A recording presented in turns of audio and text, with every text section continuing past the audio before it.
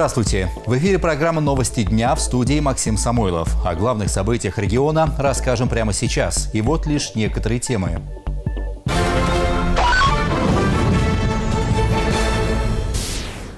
Дождь, гроза и град. Осенняя погода накрыла Оренбуржье в августе. Прогноз на неделю от синоптиков областного гидрометцентра.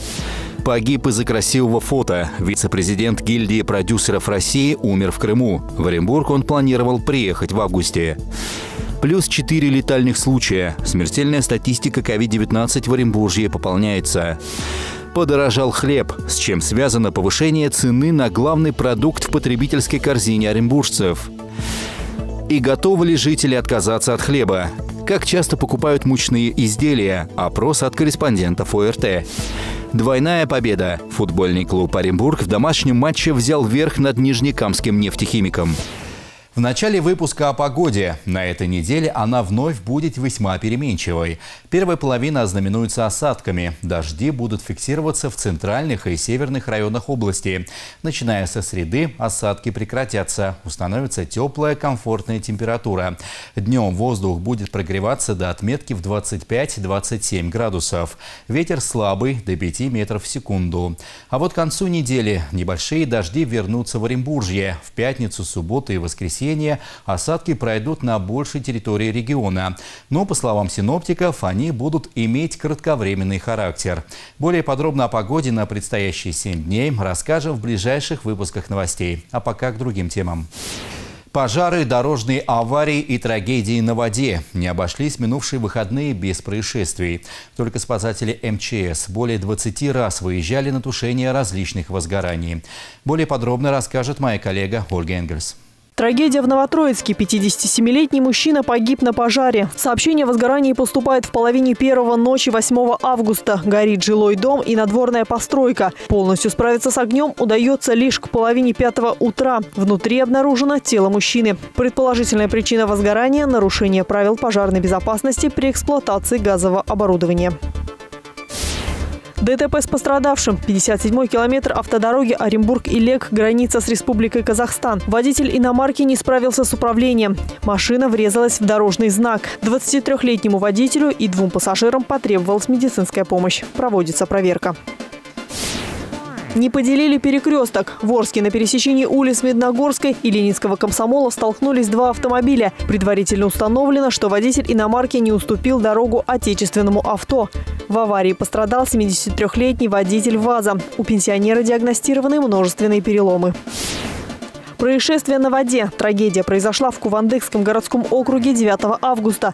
Тело мужчины обнаружили в реке близ окраины поселка Урал. Причины смерти и личность погибшего пока не установлены. Правоохранители проводят проверку.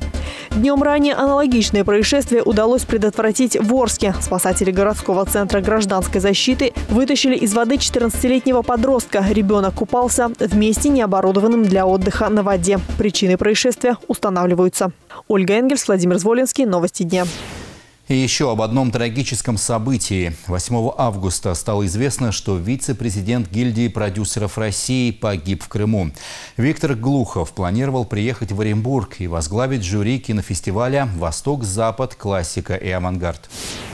Виктор Глухов должен был возглавить жюри российского конкурса 13-го международного фестиваля «Восток-Запад. Классика и авангард», который пройдет в Оренбурге с 21 по 26 августа. Как сообщают федеральные агентства, в Крыму Глухов принимал участие в профильном молодежном форуме и отправился по популярному туристическому маршруту тропа Голицына. Он сорвался с мыса, когда пытался сделать красивые фотографии. Подскользнулся на мысе Капчик и упал с 60-метровой высоты на камни. От телесных повреждений повреждений. Мужчина погиб на месте. Как сообщили в Следственном комитете Российской Федерации по Республике Крым, по факту смерти Глухова проводится проверка. Назначена судебно-медицинская экспертиза. Виктору Глухову было 67 лет. Прощание с погибшим состоится 10 августа в Московском доме кино. Предположительно, в Оренбурге на посту жюри кинофестиваля Глухова заменит член Союза кинематографистов России, член гильдии кинооператоров СК России Сергей Макритский.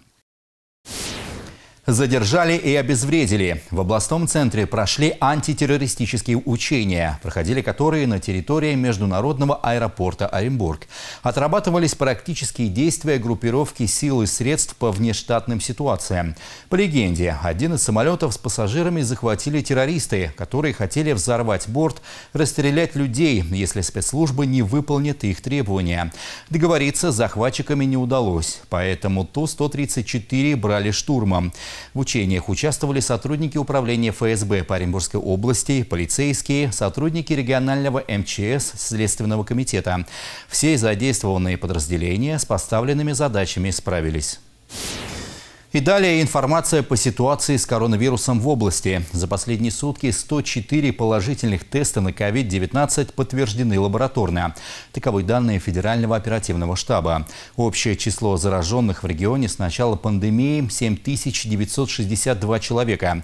55 пациентов умерли от коронавирусной пневмонии. Четыре новых смертельных случая произошли в минувшие выходные. На сегодня борются с инфекцией 1689 жителей региона.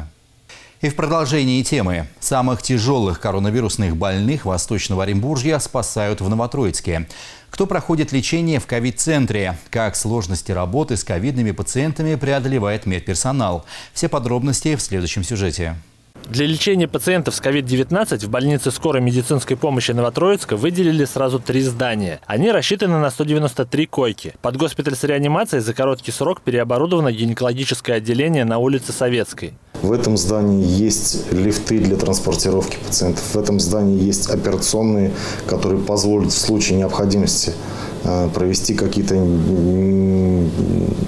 неотложные экстренные операции пациентам, которые находятся на лечении по поводу ковид-инфекции. Особое внимание вызывает реанимационное отделение. Оно находится в так называемой красной зоне. Рассчитано на 18 коек. Вход в специальных защитных костюмах, очках и маске. Здесь пациенты получают кислородную поддержку. К аппаратам искусственной вентиляции легких больных подключают только в крайних случаях. Это вынужденная мера. К сожалению, это всегда мера отчаяния. Вот. И, к сожалению, нам очень сложно потом отучить пациентов от аппаратов и ИВЛ. Научить легкие вновь дышать самостоятельно – сложный и важный процесс. Тем более, что большинство пациентов в больнице – люди старше 60 лет. Тяжело было дышать. Горло что-то прихватило, и этот квас попил. Холодно. Так ни с кем не общался. По мнению врачей, пик заболеваемости коронавирусом еще не пройден. В последние дни в ковид-центр привозят все больше новотрачан. В связи с этим больница продолжает принимать новое медицинское оборудование. К уже имеющимся 55 аппаратам ИВЛ в ближайшее время должны прийти еще 30. Также в планах установка двух новых компьютерных томографов. Вячеслав Кампа, Екатерина Степанюк, Виктор Литовский. Новости дня. Это новости дня. Во второй части программы вы узнаете. Подорожал хлеб, с чем связано повышение цены на главный продукт в потребительской корзине оренбуржцев. И готовы ли жители отказаться от хлеба? Как часто покупают мучные изделия? Опрос от корреспондентов ОРТ. Двойная победа. Футбольный клуб Оренбург в домашнем матче взял верх над Нижнекамским нефтехимиком.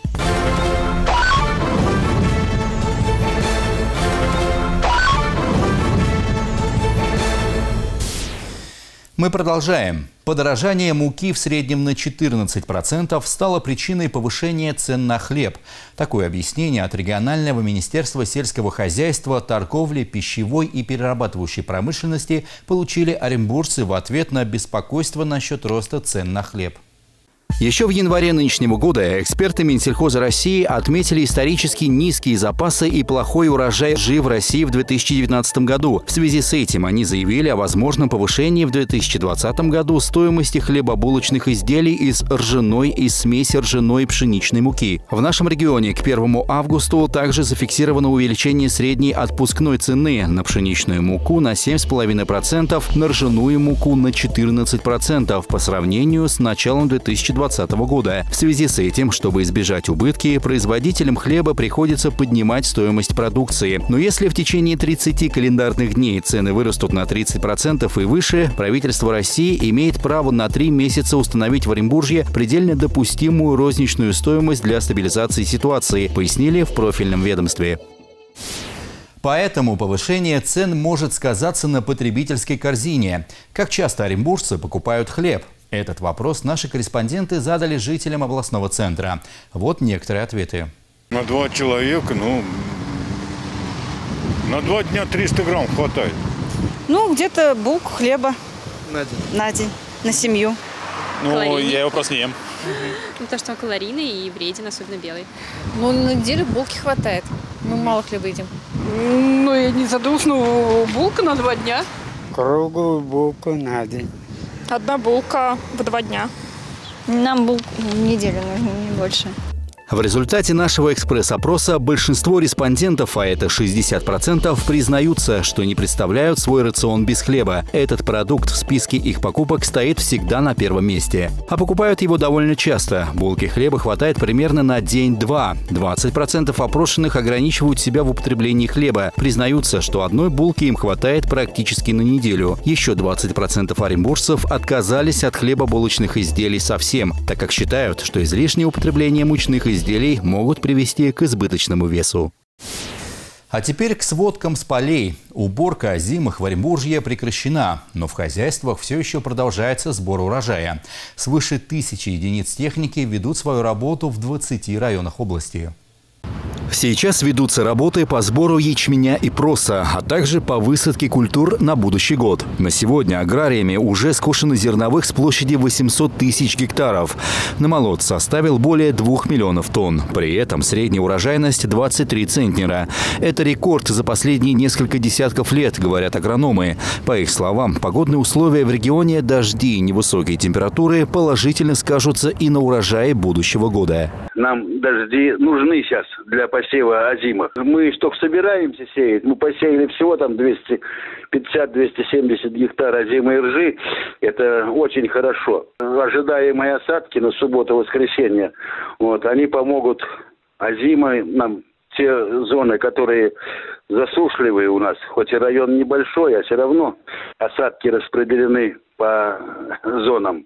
Кому-то перепадает, кому-то нет. Лидируют по урожайности хозяйства Курманаевского района с намолотом 164 тысячи тонн зерна.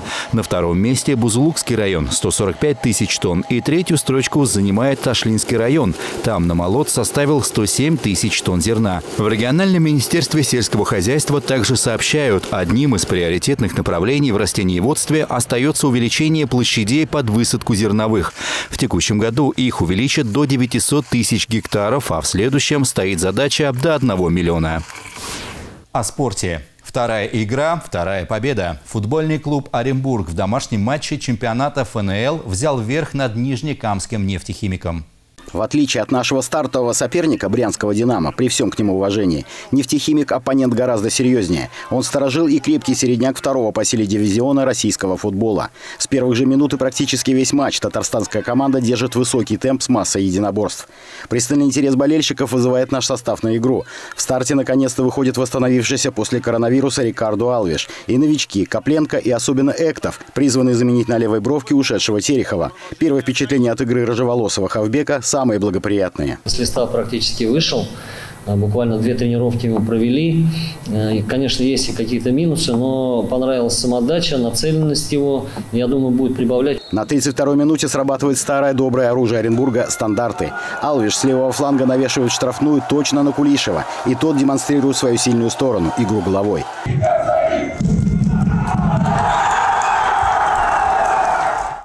Мяч Артема остается единственным и победным. Хотя хороший шанс увеличить счет представляется Алвишу. Тот бьет точно в угол, и голкипер нефтехимика совершает суперсейв.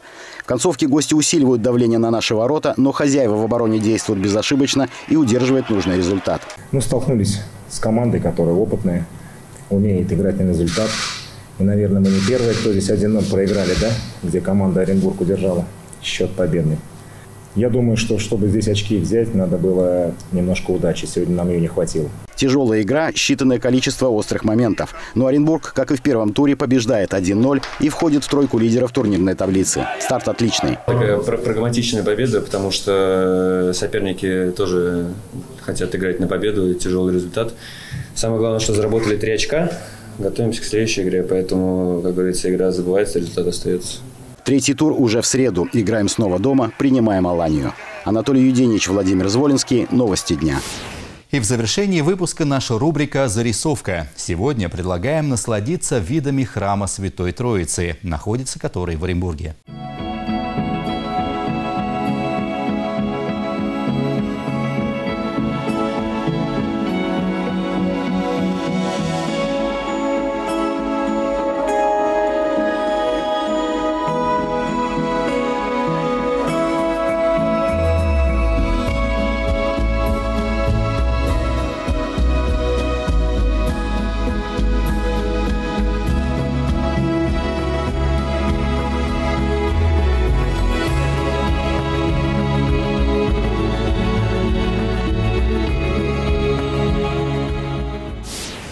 Такими были новости к этому часу. Я напоминаю, на нашем официальном сайте media56.ru вы можете вернуться к обзору событий в любое время, а также присоединяйтесь к нашим группам в социальных сетях. До свидания.